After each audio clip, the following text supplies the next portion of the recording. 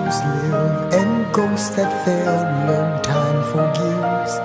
Welcome, friends, please stay a while. Our story starts with one small child who spends this night in attics dark where dreams are stored like sleeping hearts.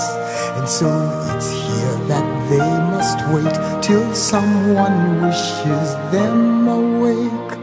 For somewhere on this night of nights, she's looking to believe. Here among the ghosts on Christmas Eve.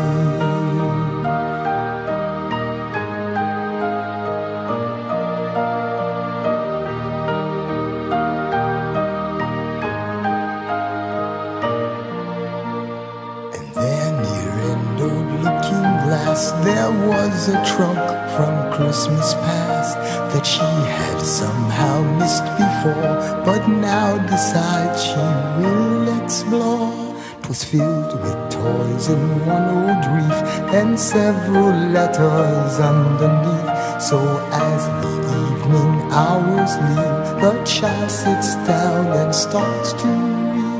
For somewhere on this night of nights, she's looking to believe.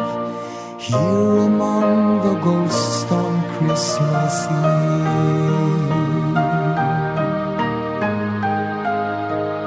On Christmas Eve.